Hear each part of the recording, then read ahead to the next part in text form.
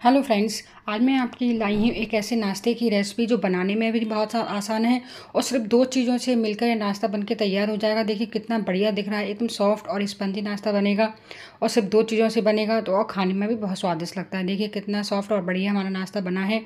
तो चलिए इसकी वीडियो शुरू करते बनाना। तो मैंने एक बाउल लिया है, उसमें एक कप पोहा ले लिया है। अब इसे पोहे को हम दो तीन बार अच्छे से वॉश कर लेंगे, जिससे इसमें जो भी डस्ट वगैरह होगी वो निकल जाएगी। इसलिए पोहे को अच्छे से धोना बहुत ज़रूरी है, क्योंकि पोहे में बहुत डस्ट होती है। तो इसको हम अच्छे से वॉश कर लेंगे दो तीन बार। तो मैंने सारा पानी निकाल लिया है और दो तीन बार अच्छे से वॉश कर लिया है। अब इसको दस मिनट रेस्ट पर छोड़ देंगे, जिससे ये पोहा फूल जाए। उसके बाद हम इसका यूज़ करेंगे। तब तक बाकी की तैयारी कर लेते हैं। अब मैंने एक अदर बाउल लिया है। उसमें आधा कप सूजी ली है। ये बारीक वाली सूजी है, मोटी वाली सूजी भी यूज़ कर सकते हैं। और एक चौथाई कप दही लिया है, ये फ्रेश दही है। अब दोनों चीज़ों को अच्छे से मिक्स कर देंगे। आपको इसमें पानी का यूज़ नहीं करना है, बिना पानी के ही मिक्स करना है। तो दोनों को अच्छे से मिक्स कर दीजिए। देखिए, हमने सूजी को और उसको मिक्स कर दिया है दही को। अब इसको भी दस मिनट रेस्ट पर छोड़ देंगे, जिससे सूजी फूल जाए। उसके बाद हम इसका यूज़ करेंगे। तो देखिए, पोहा हमारा फूल चुका है, दस मिनट हो चुके हैं। अब इसको हम पोहे को हल्का सा मैश कर लेते हैं हाथ से ही। आप चाहें तो मिक्सी में भी चला सकते हैं, पर मैं तो हाथ से ही मैश कर रही हूँ इसको। तो इसको हाथ से अच्छे से मैश कर लीजिए, जिससे एकदम डो के फॉर्म में आ जाए। देखिए हमारा पोहा मिक्स हो चुका है। अब जो हमने सूजी फुला के रखी थी ना, वो भी अच्छे से फूल चुकी है। उसको भी इसमें हम ट्रांसफ़र कर देते हैं। अब दोनों चीज़ों को अच्छे से मिक्स कर देते हैं, जिससे एकदम डो के फॉर्म में आ जाए तो एकदम सॉफ्ट डो लग जाना चाहिए। आपको इसमें पानी का इस्तेमाल नहीं करना है, बिना पानी के ही ये आटा गूँथना है। तो देखिए, डो के फॉर्म में परफेक्ट आ गया है। अब इसमें बाकी की चीज़ें ऐड कर देते हैं। तो मैं दो हरी मिर्च ले रही हूँ और थोड़ा सा हरा धनिया और थोड़े से करी लीव्स। तो हरी मिर्च की क्वांटिटी आप अपने अकॉर्डिंग ले सकते हैं। अब इसमें नमक डाल देंगे स्वाद के अनुसार। और आधा चम्मच काली मिर्च का पाउडर, क्योंकि इससे अच्छा टेस्ट आएगा तो ज़रूर डालिएगा। और दो चम्मच ऑयल, इससे क्या हमारी नाश्ता सॉफ्ट बनेगा। इसलिए अब इन सारी चीज़ों को अच्छे से मिक्स कर देंगे और एकदम डो के फॉर्म में परफेक्ट कर देंगे। जैसे सारी चीज़ें आपस में अच्छे से मिक्स हो जाएँ और एकदम बढ़िया सा हमारा डो लग के तैयार हो जाए।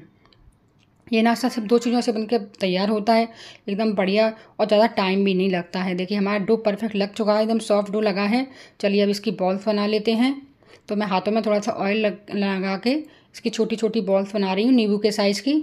आप चाहें तो कोई और शेप भी इसको दे सकते हैं। मैं इसको बॉल्स का शेप दे रही हूँ। तो इसी तरीके से हम सारी बॉल बना लेंगे। देखिए कितना आसान है बॉल बनाना। फटाफट बन जाती हैं। कोई भी इसमें क्रैक वगैरह कुछ भी नहीं आता है। तो शेप आप अपने अकॉर्डिंग बना सकते हैं, छोटा, बड़ा, जो भी बनाना चाहते हैं। मैं इसको नींबू के साइज़ का ही बना रही हूँ। देखिए हमारा ये दूसरा बॉल्स भी बन चुका है। इसी तरीके से हम बाकी के सारे बॉल्स बना के तैयार कर लेंगे। तो देखिए, हमने सारे बॉल्स बना लिए हैं।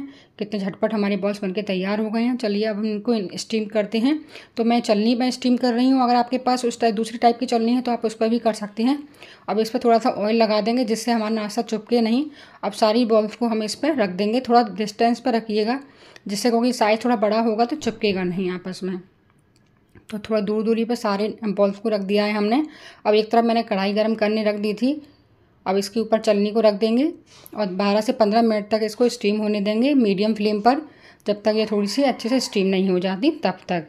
और पंद्रह मिनट के बाद देखेंगे, देखिए पंद्रह मिनट हो चुके हैं और देखिए हमारी साइज़, बॉल का साइज़ भी थोड़ा सा बड़ा हो चुका है और ये स्टीम हो चुकी हैं। देखिए बिल्कुल भी नहीं चिपक रही हैं और ठंडा होने पर हम इसको निकालेंगे। हमारी बॉल्स परफेक्ट बन के तैयार हो गई हैं। देखिए कितनी बढ़िया सॉफ्ट बनी हैं। आपको दिख रहा होगा इसका टेक्सचर।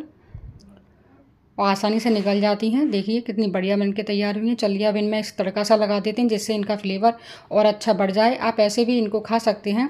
तो मैंने एक कढ़ाई में थोड़ा सा एक चम्मच ऑयल, आधा चम्मच राई डाल दी है। राई को अच्छे से क्रैकल होने देंगे। तब दो हरी मिर्च डाल देंगे। आप इसमें सफ़ेद तिल भी डाल सकते हैं, पर मैं नहीं डाल रही हूँ क्योंकि मेरे बच्चों को पसंद नहीं है वो। अब आधा चम्मच हम मसाला डाल रहे हैं, चाट मसाला। इससे का चटपटा नाश्ता बनेगा हमारा और आधा चम्मच कश्मीरी लाल मिर्च। जिससे देखने में अच्छा लगेगा, और दो चम्मच नारियल का बुरादा। मैंने सूखे नारियल को ग्रेट करके डाल रही हूँ, और इसको हल्का सा रोस्ट कर लेंगे जैसे सारी चीज़ें हल्की सी रोस्ट हो जाएँ जिससे इनका कच्चापन है ना, वो ख़त्म हो जाए। देखिए, मसाला हमारा रोस्ट हो चुका है। अब हमने जो बॉल्स बना के रखी है ना, वो इसमें हम ऐड कर देते कर देते हैं।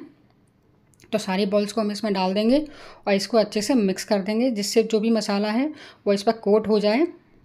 तो देखिए, कोट हो चुका है। अब मैं इसमें एक चौथाई चम्मच पोहा मसाला डाल रही हूँ, इससे क्या और अच्छा फ्लेवर आएगा। ऑप्शनल है, आप डालना चाहें डालिए, वरना स्किप कर सकते हैं।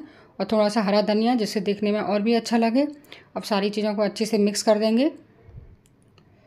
देखिए, कितना बढ़िया नाश्ता बन के तैयार हुई एकदम बढ़िया दिख रहा है ना। तो अब देखिए, अच्छे से मिक्स हो चुकी हैं सारी चीज़ें। अब इसमें थोड़ा सा लेमन का जूस भी डाल देते हैं।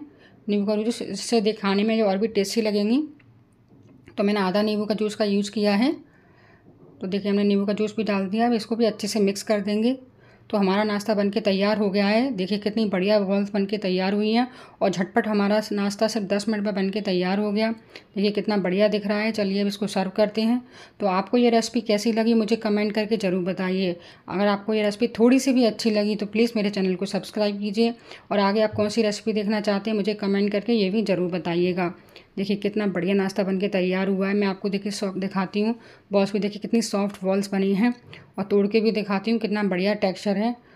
तो आई होप आपको ये रेसिपी पसंद आई हो। और पसंद आई हो तो प्लीज़ चैनल को सब्सक्राइब कीजिएगा और सपोर्ट करिएगा थोड़ा सा।